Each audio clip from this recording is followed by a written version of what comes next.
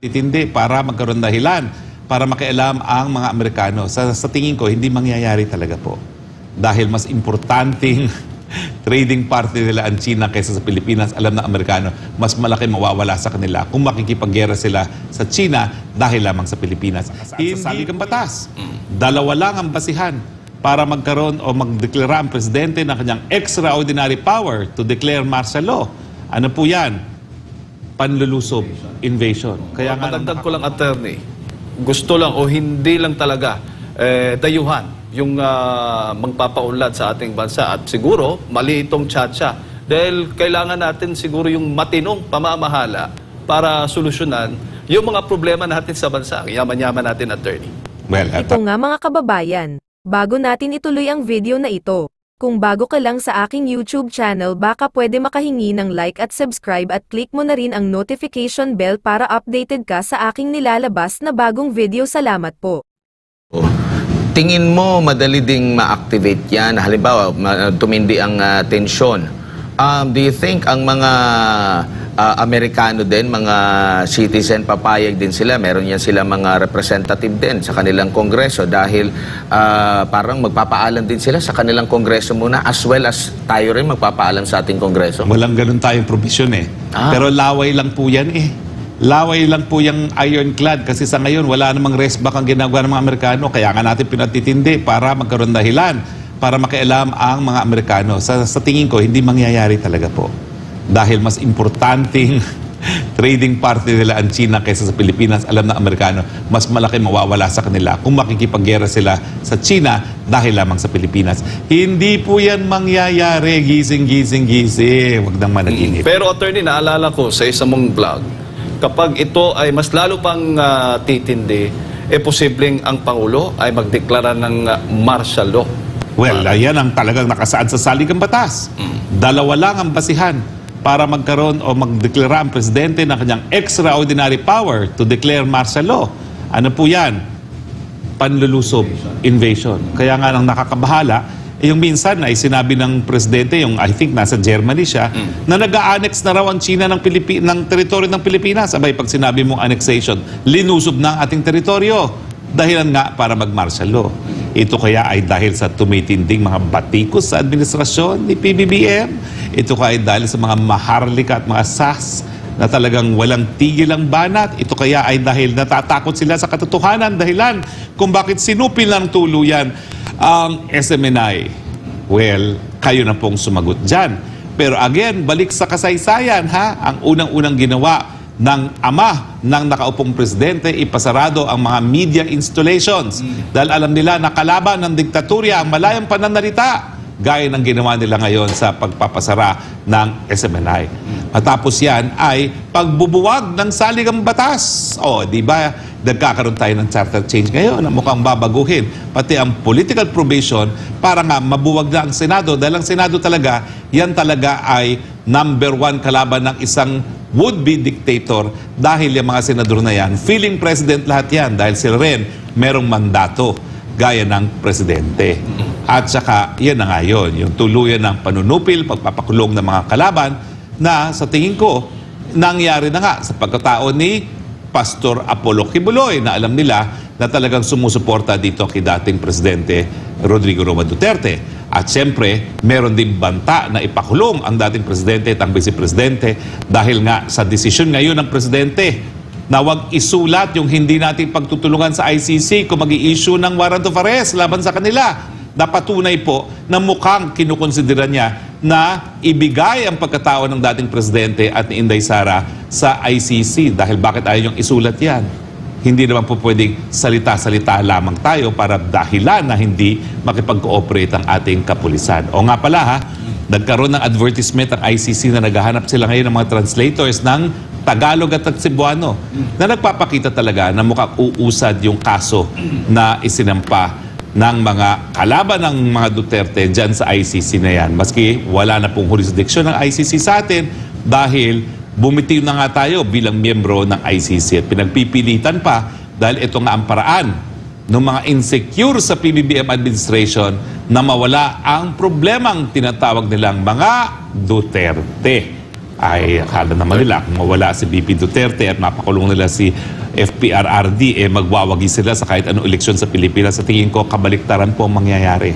Lalo lang lalakas ang hanay ng tunay na oposisyon laban dito kay PBBM kung gagawin nila yan. At baka yan nga yung inaantay ng lahat para magkaroon na ng tunay na pagbabago. Ang pag-aresto at pagbigay sa pagkatao ng dating presidente at ni BP Sara dyan sa hukumang dayuhan. Attorney, parang hindi nakalinya or tugma itong ah, mga pangyayari ngayon sa kanilang mga sinasabing plano, lalo na sa pagpapaganda ng ekonomiya, sa paghimok ng mga investor.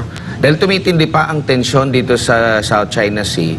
Kung ikaw ba ay negosyante, like kagaya dun sa Uishi, na halimbawa, mag invest doon sa isang ah, lugar na di mo alam kung ano yung nangyayari kasi tumitindi yung ah, ah, umiinit yung ah, tension. Mas gugustuhin mo bang maglagak ng puhunan pa dyan? Siyempre hindi. Baka pag nagkaroon ng gera dito, edi parang maaabulang yung iyong kapital na um, ininvest dito sa Pilipinas, no?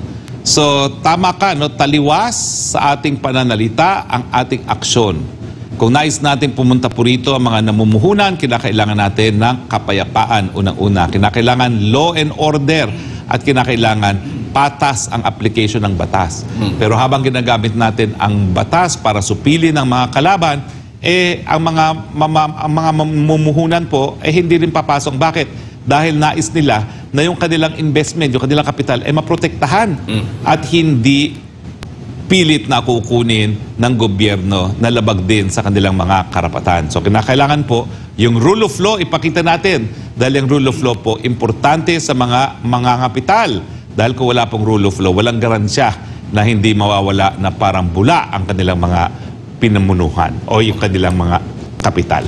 O, or madagdag ko lang, attorney, gusto lang o hindi lang talaga eh, dayuhan yung ah, magpapaunlad sa ating bansa. At siguro, mali itong tsatsya. Dahil kailangan natin siguro yung matinong pamamahala para solusyonan yung mga problema natin sa bansa. Yaman-yaman natin, attorney. Well, eh, talaga naman po yan ang problema natin. No?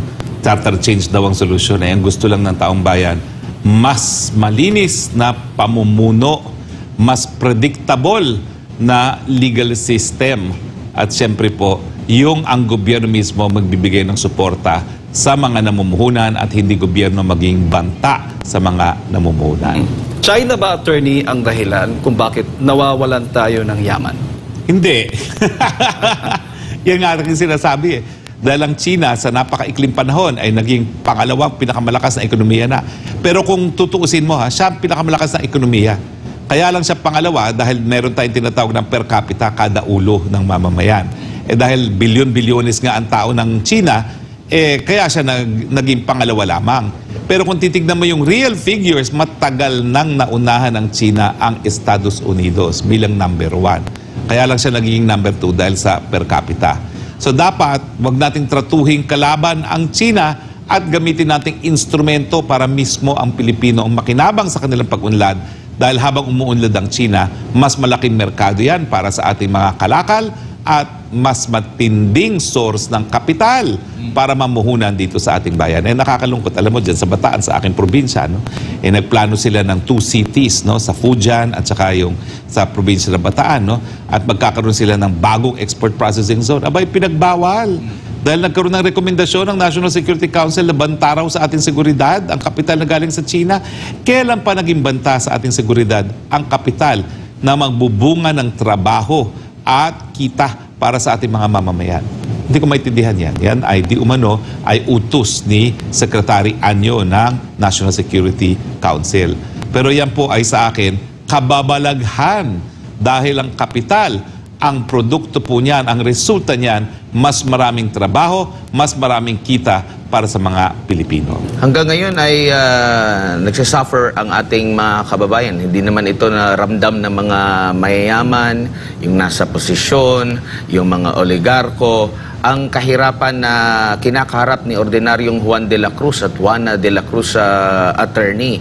Ah, panay natin na naririnig ang trilyong piso na raw na ipinangako o mga pledges na nahakot di umano ng ating ah, ah, administrasyon ang, sa pagbiyahe ng ating ah, Pangulo. Yet, hindi pa natin ramdam Meron pang mga lumalabas na issue na pinagsasamantalan pa yung ating mga ah, magsasaka. Meron na nga nag-viral na ah, video ah, attorney na siya ay nagtataka, magsasaka siya, mura ang ah, bili ng bigas sa kanila, dapat mura din sa mga sa retail, pero napakamahal. So luging-lugi sila. Ang yumaman, yung mga mayaman na, pero silang mahihirap, hindi pa talaga yung mayaman. At ah, apektado ang ah, buong ah, taong bayan dito dahil kumakain naman ang ating mga kababayan. Di din talaga nila yan. Balik na naman tayo sa napakong pangako sa 20 pesos pesos na kilo ka- kada kilo ng bigas.